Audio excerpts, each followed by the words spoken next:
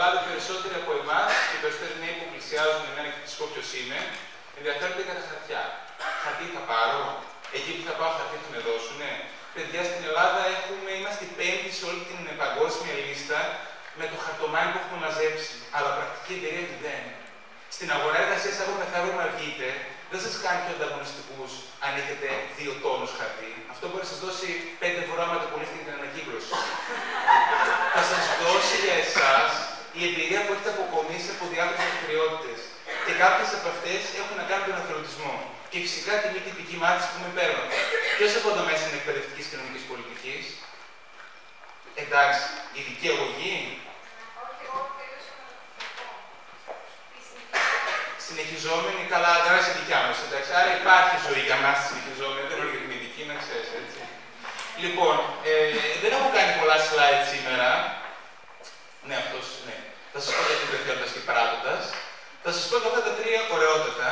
Το Ιλπουτσίνο πύρο στα δεξιά, το κρεμμυδάκι το αριστερά και κάτω ο πλανήτης. Λοιπόν, ο κάθε άνθρωπος είναι μια προσωπικότητα. Αυτή η προσωπικότητα δείχνει σαν κρεμμύδι όταν σε ρωτήσω α, τι είσαι, μπορεί αμέσως να πεις είναι γυναίκα, είναι άντρας, είναι Έλληνα, είναι Ελληνίδα ή οτιδήποτε. Αυτό είναι το εξωτερικό του κρεμμύδιου. Είναι το πρώτο πράγμα που θα δεις ένα κρεμμύδι, το πρώτο φίλο του.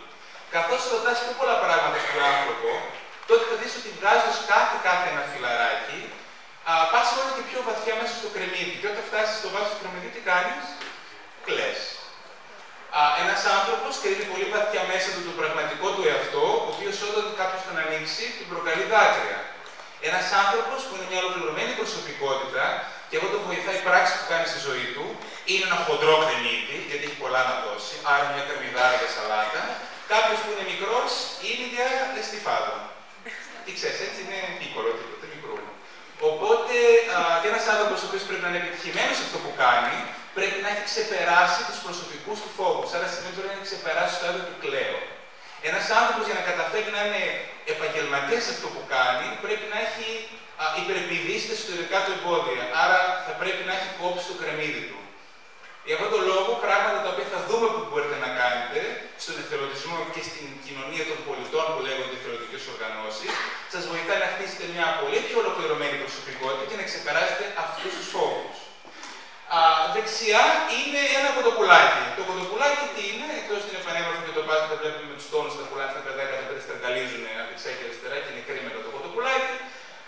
είναι, θέλει να αποδηλώσει τη νέα ζωή που για μένα δόθηκε όταν άρχισα να ασχολούμαι με προγράμματα εθελοντισμού και προγράμματα που δεν ήταν, α το πούμε, κατευθυνόμενα ούτε από τους γονείς μου, που λυσάξαν να με στείλουν στη Φλόρα να σπουδάσω βαλκανικών που τόσο ήθελα, α, ούτε από την ε, κοινωνία γενικά που με οθούσε να μάθω αγγλικά, γαλλικά, γερμανικά, ισπανικά. Α, ήθελα να κάνω πράγματα για να αναπτύξω εγώ τον εαυτό μου, γιατί εγώ ήθελα να το δώσω στον καθρέφτη ότι εγώ είμαι ευτυχισμένος. Δεν με ενδιαφέρει να με δώσει ένα χειροκρότημα από μετά από κάποιος, γιατί όταν εσύ είσαι ευτυχισμένος, τότε μπορείς και πετυχαίνεις αυτό που θέλεις.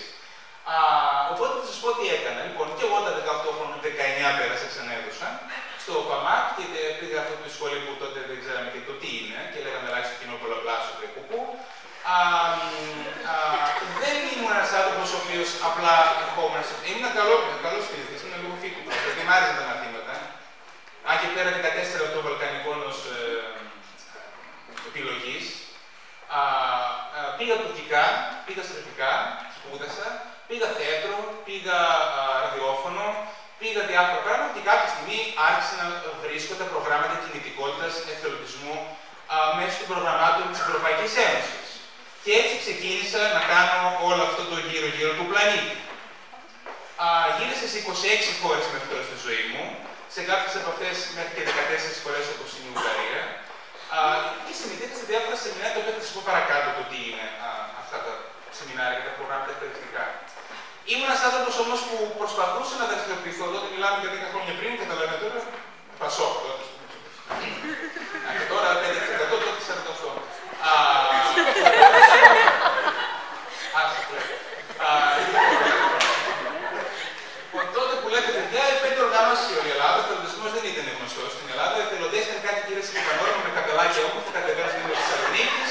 πλάτη γατάκια, ορφανά, φωτογραφία με την Ατζελίνα Ζολή. Τότε οι πελωτέ ήταν με ο Κούκο σε κάτι οργανώσει οι οποίε δεν ασχολούνταν με του πελωτέ, απλά του πέραν τηλέφωνο και λέγανε τρεχάτε. Ναι, αλλά τα ευρωπαϊκά προγράμματα τρέχανε. Εμεί τότε αυτά τα παιδιά δεν πολύ ξέραμε πράγματα. Τι λέγαμε, μάθαμε να κάνουμε τώρα με και καλό άνθρωπο. Πού να ξέρουμε τι έχει πετυχία τη τσέπε, τα φιλιά μου. Ε, και όταν θέλανε ασχοληθούν οι Ισπανοί, οι Ιρλανδίε, exotic places, ρε παιδί μου, που λέει κίνηση στην Ιρλανδία, wow. Κανεί δεν τα Βαλκάνια. Σκόπιε, α, Μακεδόνια, Βούλγαρ, Βρωμιά και τέτοιε που Κανεί δεν ήθελε, οπότε εμένα αυτό με έτρωγε. Ήθελα να κάνω κάτι που να δώσω χώρο και χρόνο στον ιό να εκφράσει αυτά που θέλει. Θα ήθελα να τον δώσω να ξεκολλήσει από τον φραπεδοπολιτισμό τη Θεσσαλονίκη, αυτό το αραλίκι, να με συγχωρέσετε την ευθεροστομή με λίγο έτσι, έχει λογοπαιδείας, έχω γίνει μεταπτυχιακά και πολλά, απλά μου αρέσει να μιλάω κάθε μέρα με Αυτό έχει δηλίκη, ρε παιδί μου, στάσει παραλίες φραπέ και άγιο ο Θεός καθημερινότητα. Ήθελα με κάποιο τρόπο να κουνηθούν τα παιδιά και να δράσουν. Γιατί κουνώντας με κατάσταση πέτρα δεν κορταδιάζει που λέγεται με κινέζικη παρεμία. Πόσο καιρό να φάω κινέζικη. Λοιπόν, οπότε και το 2008, εγώ και μια άλλη ομάδα έτσι νέων, κάναμε τι Ενωμένε Κοινωνίε των Βαλκανίων με μασκότ στο πρότατο. Βεβαίω, έχει και πάση που κρύψω. Ε, όπου α, USB, το ακρόνιμο, είναι σαν το καλό του υπολογιστή που προσπαθούμε να ενώσουμε με τι δράσει μα στον κόσμο, την νεολαία στα Βαλκάνια και στην Ευρώπη. Το πρώτο το, το, το είναι η μασκότ μα, κάνει διάφορα πράγματα. Να τα δείτε, τα έχω έτσι πάρα πάρα είναι, τρία έχουν τρία είναι. Α, και είναι γιατί α, πρώτα τα Βαλκάνια, την οτροφία και τα σχετικά, αλλά και δεύτερον είναι το πρώτο το οδηγήσει στον κρεμό, ένα, ένα να πέσει και αυτό όλα μαζί. Άμα το οδηγήσει κάπου άλλο, θα πει όλο μαζί. Οπότε και εμεί λίγο το είδαμε βοσκή, Τζοβάνι, μην είναι έτοιμο και ε, το χρησιμοποίησαμε σαν μασκότ. Εδώ πέρα μπορείτε να δείτε κάποιες φωτογραφίες ενδεικτικές που θεωρώ ότι για μένα έχουν πολύ μεγάλο νόημα. Α, διότι μέχρι στιγμής έχουμε φέρει στην Ελλάδα μέσα από ευρωπαϊκά προγράμματα πάνω από 2.600 νέους από όλη την Ευρωπαϊκή Ένωση, οργανώνοντας σεμινάρια και συνέδρια και εκπαιδευτικές δραστηριότητες μέσω της μη τυπική μάθησης, δηλαδή όχι με τοπικοί καθηγητές που διαβάζουν το βιβλίο ΣΟΑ, περνάμε, ναι, και μετά τα ξεχνάμε μετά από τη γωνία, αλλά μέσα από μεθοδολογίες οι οποίες έχουν να κάνουν παιχνίδια ίδια ρόλο, προσωμείωση, θέατρο, ζωγραφική, δηλαδή να βάλουν εσένα στο εκπαιδευτικό παιχνίδι, στο επίκεντρο. Α, έχουμε φέρει 2.600 παιδιά, όχι δεδομένοντας πράγματα στη Θεσσαλονίκη Αθήνα, που είναι και γνωστό στερεοτυπικό του εξωτερικό, Μήκο Σαντορίνη, wow, 600 από το βράδυ, ας πούμε. Αλλά έχουμε κάνει βελβετό Ποζάνη, ταξιάρχη Χαλκιδικής, Ολυμπιάδα Χαλκιδικής, όρο Μαριδέα, Μικρά Λακαδά, Παλιό Παντελεήμονα και να φέρουμε κοντά την τοπική νεολαία με τα παιδιά από το εξωτερικό. Και λέγοντα κιόλα να μπορεί να δώσει η τοπική κοινωνία ότι μπορεί περισσότερο. Εδώ στην ιστορία μα φέρνει τον εκπρόσωπο τη Eurovision να τραγουδήσει. Από τη Μολδαβία, συγγνώμη τον εκπρόσωπο. Ποιο τον έτυχε να έρθει, άλλο αυτό. Δίπλα είναι μια από τις πρώτες ομάδες εθελοντών που φέραμε από το εξωτερικό. Θα μιλήσω αργότερα για το πρόγραμμα Ευρωπαϊκή Εθελοντική Υπηρεσία. Και κάτω είναι από τις πρώτες ε, ε, προγράμματα που στείλαμε Έλληνες. Στείλαμε πάνω από 1.700 παιδιά μέχρι τώρα στο εξωτερικό σε ευρωπαϊκά προγράμματα. Είναι στη Σλοβακία. Πολύ ωραία παιδιά. Σλοβακία εξαιρετικά. Να πάτε. Τώρα θα μιλήσω λίγο για κάποια προγράμματα ευρωπαϊκά, τα οποία μπορείτε να σα ενδιαφέρουν και κάποιες δραστηριότητες εθελοντικής δράσης στη Θεσσαλονίκη και στην Ελλάδα. Θα ξεκινήσω από κάτω, α ξεκινήσω από πάνω αριστερά.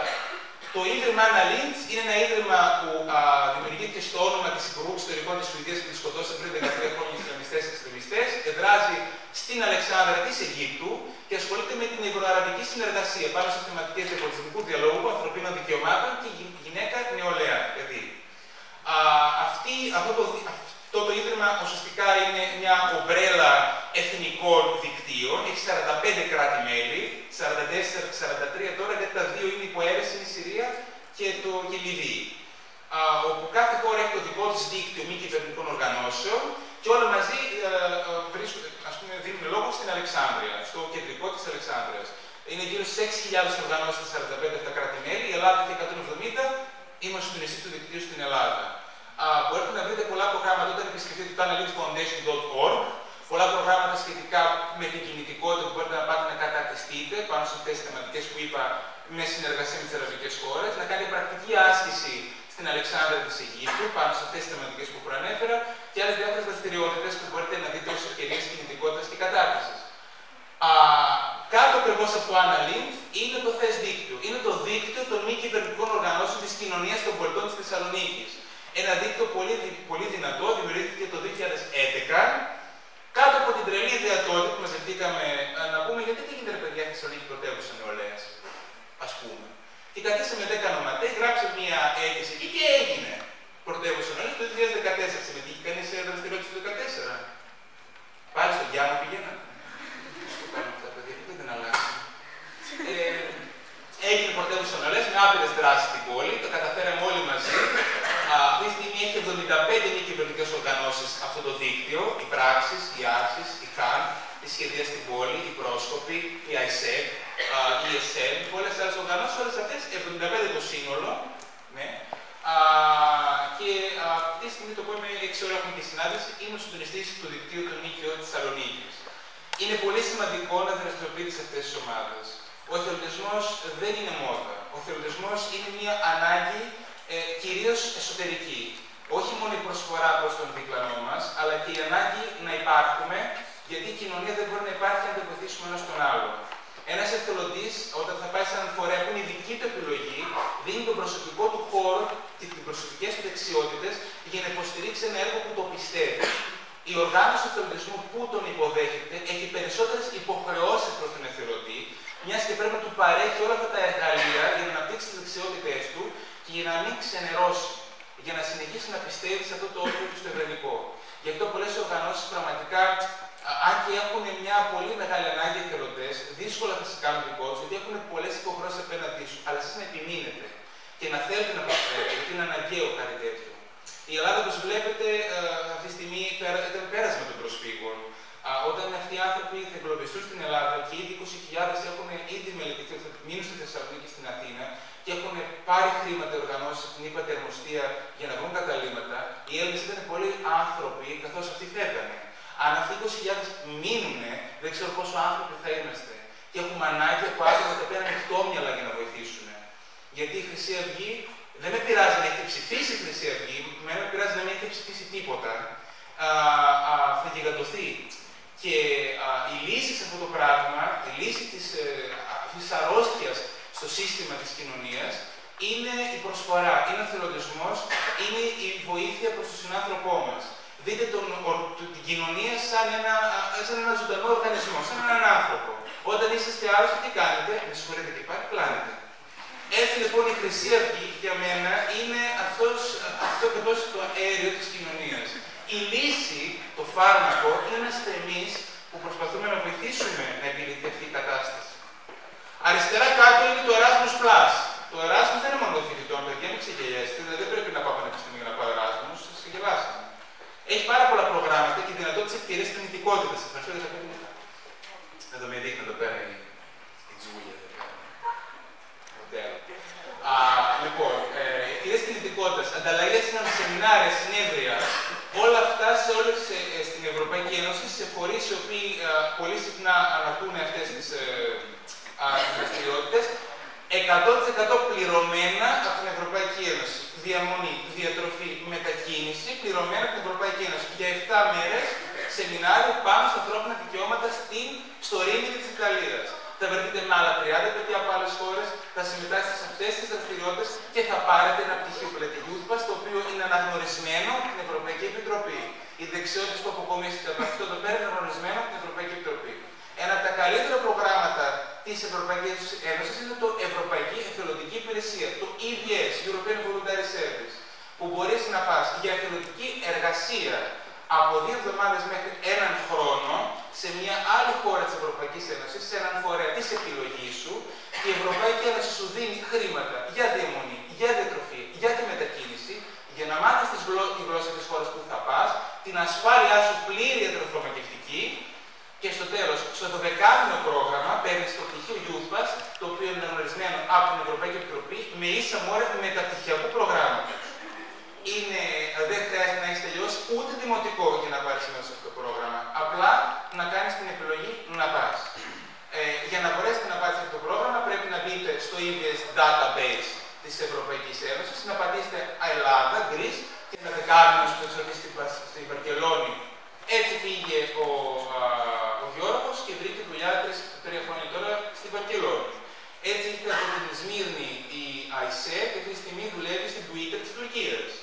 Ε, γιατί είσαι στην Ελλάδα, είσαι, τη άρεσε πάρα πολύ ε, τα μίντια που ασχολούνται στο γραφείο, είτε έχουμε ηλεκτρονικό ραδιόφωνο, τηλεόραση και περιοδικό, και την άλλαξε, τη σου έφυγε το πράγμα, το δουλεύεις στο Twitter. Έτσι ήρθε ο Ρικάρντο του την και τώρα τη στιγμή δουλεύεις σε μια τηλεόραση στην Βουλγαρία σαν μεταφραστής. Μπορεί να σας αλλάξει η ζωή γιατί ουσιαστικά μπορεί αυτό που κάνεις να είναι στο παγαπατή, επειδή